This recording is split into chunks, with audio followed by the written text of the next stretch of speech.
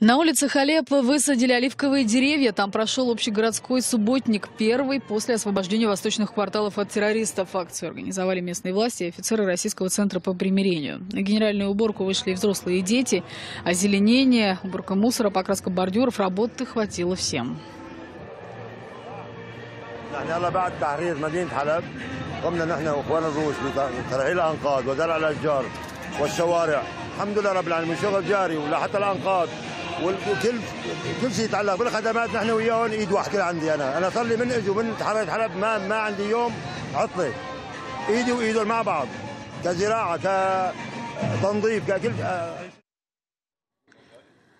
К субботнику подключились и студенты, учащиеся университета Алеппо, который не закрывался даже во время боевых действий, провели уборку в цитадели. Визитная карточка древнего города стала еще и символом победы над боевиками. За три года радикалы так и не смогли взять крепость. Студенты намерены вернуть ей первозданный вид.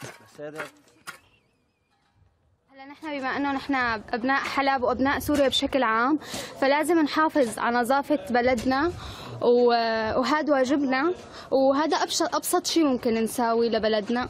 أه، وإن شاء الله نحن أه، رح نضل نطلع هيك فعاليات لبناء أه، وطننا. وإذا في شيء بيتطلب أكثر من هيك كمان نحن.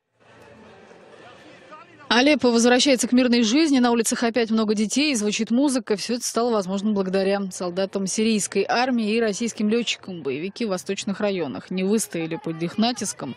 В декабре, за два дня до Нового года, Алеппо был полностью освобожден от террористов.